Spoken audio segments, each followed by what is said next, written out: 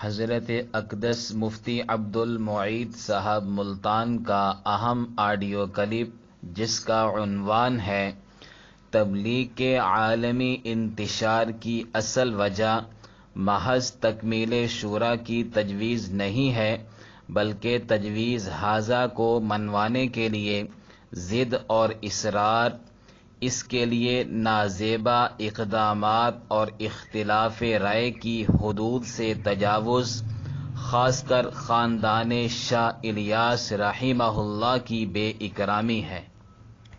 بسم اللہ الرحمن الرحیم۔ کچھ احباب کو اشکال ہے کہ تبلیغی نظم کے لیے اگر اکثر ممالک کے علماء و احباب کی رائے قدیمی ترتیب امیر و معمور کی ہے تو بعض علماء و احباب کی رائے مروجہ شورا کی بھی ہے اور اختلاف العلماء رحمت کہ علماء کا اختلاف تو رحمت ہوتا ہے۔ اس نے دنیا میں فتنہ و فساد کی صورت کیسے اختیار کر لی؟ تو اس اشکال کا جواب بھی ملاحظہ فرما لیں۔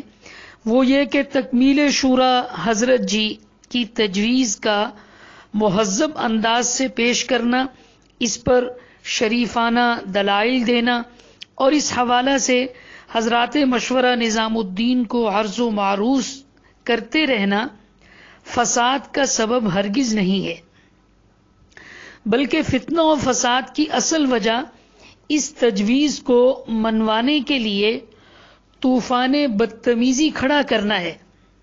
اس پر ضد اور اصرار کرنا ہے اور اختلاف رائے کی حدود کو توڑنا ہے۔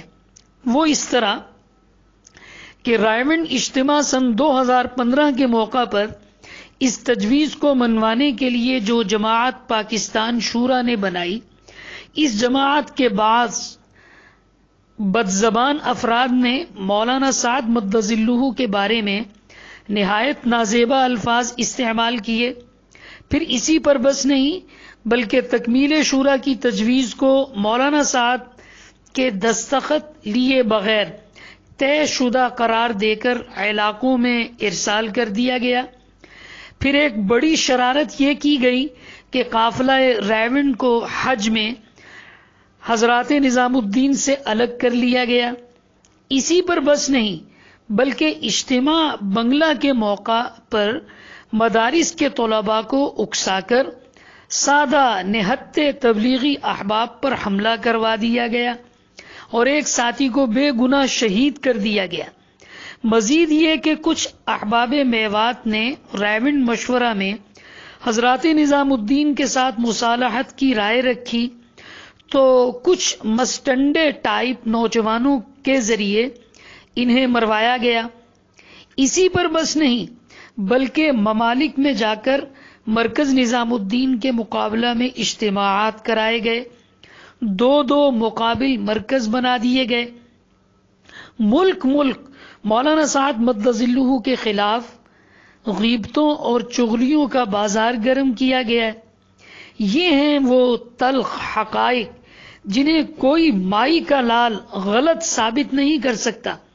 اور یہی اقدامات اصل جڑ ہیں فتنہ و فساد کی اور امت دعوت کو دو حصوں میں تقسیم کرنے کی۔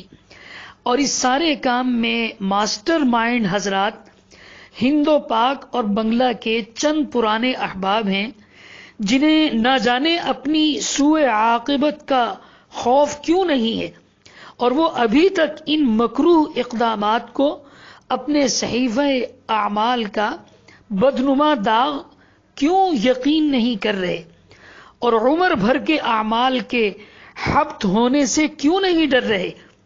خدا کرے کہ یہ حقائق بار بار ان کے سامنے رکھے جائیں اور انہیں خدائے بالا و برتر کی پکڑ سے ڈرایا جائے۔ شاید یہ حضرات اللہ جل شانہ کے روبرو تائب ہو جائیں اور حضرات مرکز نظام الدین سے معذرت کر لیں اور اجتماعیت کے بندھن میں جڑ جائیں۔ بھلے شریفانہ اختلاف رائے رکھیں لیکن حدود سے تجاوز نہ کریں۔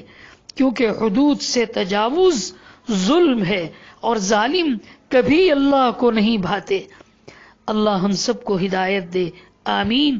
فقط وسلام بندہ عبد المعید ملتان، نمائندہ جماعت علماء کرام پاکستان۔